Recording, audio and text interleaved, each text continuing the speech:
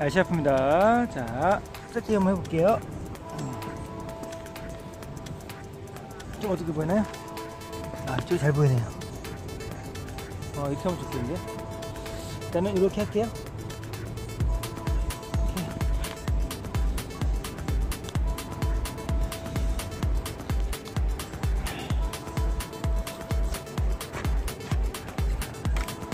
시동을 당길 때, 어, 당기는 다음에 시동이 안 걸, 안 걸리고, 다음날 지나면 안 될 때가 있어요.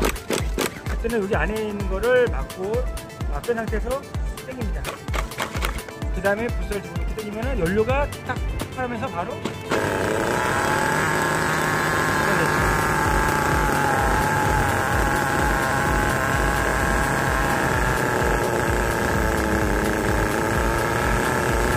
엔진이 되게 좋아요.